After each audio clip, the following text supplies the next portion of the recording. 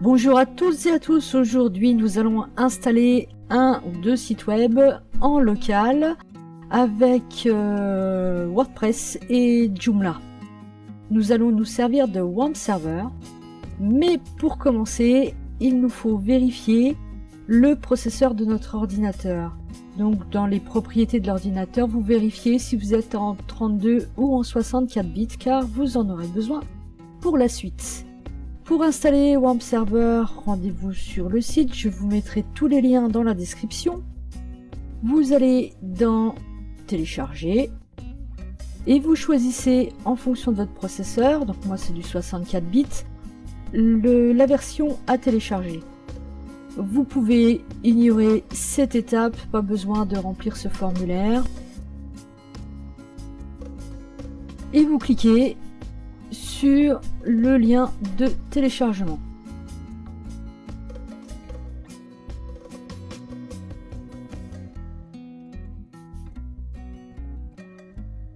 Et on clique sur Download.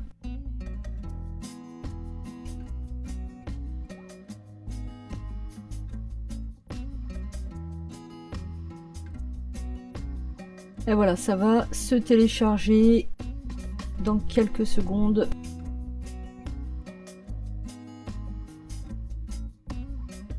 Voilà. C'est un fichier exécutable, donc vous pouvez l'exécuter et commencer votre installation. Vous suivez les instructions à l'écran, appuyez sur Next. Par défaut, il vous place WAMP sur votre serveur C. Vous pouvez partitionner, si vous avez partitionné votre disque, vous pouvez le mettre sur D par exemple.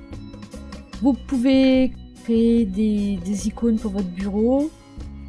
Il vous indique ici le répertoire. Votre browser, c'est votre navigateur, donc choisissez Chrome ou Firefox en fonction de votre navigateur et autorisez le pare-feu à accéder à WAMP Server. Vous suivez toutes les instructions et lorsque c'est terminé, vous pouvez ouvrir WAMP. Alors pour régler la langue, avec un clic euh, gauche. Quelques petites manipulations à faire au départ en modifiant le fichier index.php qui est sous la racine euh, WAMP 3W. À la ligne 30, vous allez saisir l'indication précédente. Le PHP admin, là aussi quelques petites configurations à faire mais très rapide. Choisissez la langue, le nom d'utilisateur, 7 jours de route et ne vous mettez pas de mot de passe. Sur le serveur Apache, simplement vérifiez que vous êtes bien en rewrite module. Et voilà, vous avez fini la configuration de WAMP Server. Dans votre local host, vous allez sur PHP admin pour créer vos bases de données. Donc nous allons commencer par créer un site avec WordPress. Donc je vais d'abord créer la base de données. Je vais l'appeler tuto Minecraft. Ça sera un petit site sur Minecraft que je vais faire en local.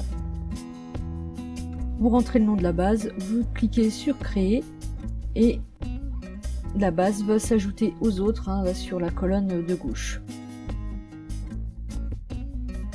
Pour installer WordPress, vous allez sur le site officiel et vous choisissez la dernière version stable. Là, ici, à l'heure où je parle, c'est la 4.4. Elle s'est téléchargée. Dans vos fichiers de téléchargement, vous recherchez l'archive et je vais parallèlement ouvrir une seconde fenêtre pour placer sous le répertoire WAMP en dessous des 3W le répertoire du site que je vais créer. Donc là je crée un nouveau dossier. Je vais l'appeler tuto Minecraft, hein, c'est un, un nouveau site. Et je vais copier dans ce répertoire les fichiers WordPress présents dans mon archive. Donc ce répertoire est vide au départ.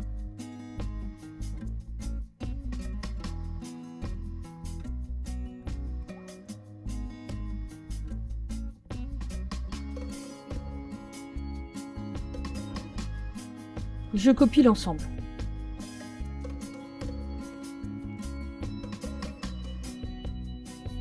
Eh bien, maintenant que cela est fait, dans mon local host, j'ai cliqué sur euh, le nom du projet. Et j'arrive sur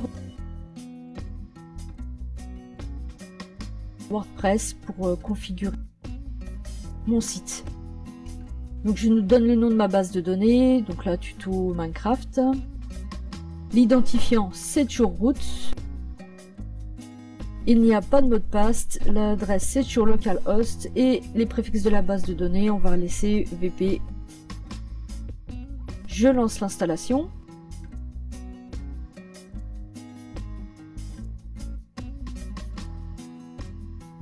Le titre du site Minecraft. L'identifiant par défaut, il vous propose admin, on va laisser admin. Le mot de passe, on n'en a pas besoin, on est vraiment sur un serveur local, donc on continue avec admin. Il va me dire que c'est très faible, je coche pour confirmer l'utilisation d'un mot de passe faible. L'adresse de messagerie, vous pouvez mettre n'importe quoi. Et vous installez WordPress.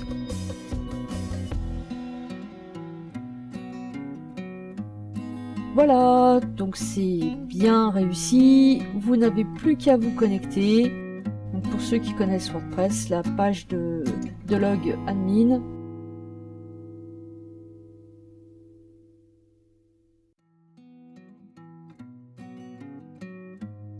Et on arrive sur le tableau de bord pour notre site WordPress.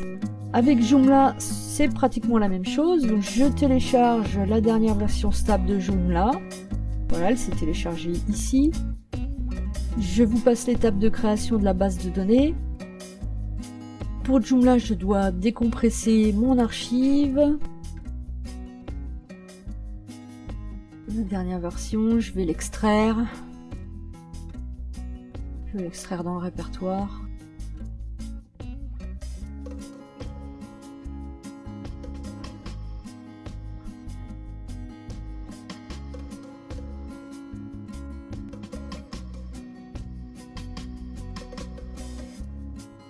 Et je crée un répertoire comme précédemment. Donc là, je l'ai appelé ma boîte.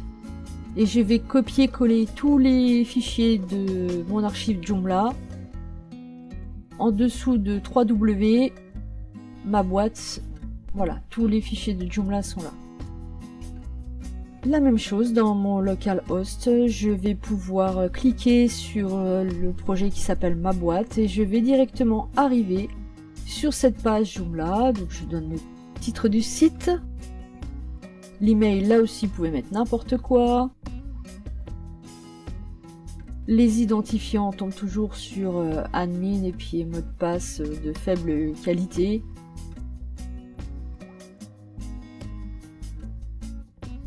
Et lorsque ceci est fait, vous cliquez sur suivant.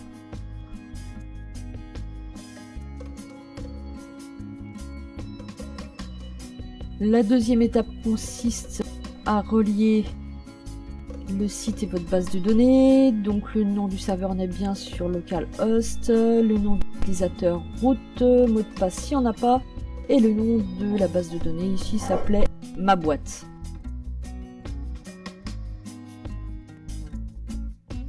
Vous lancez l'installation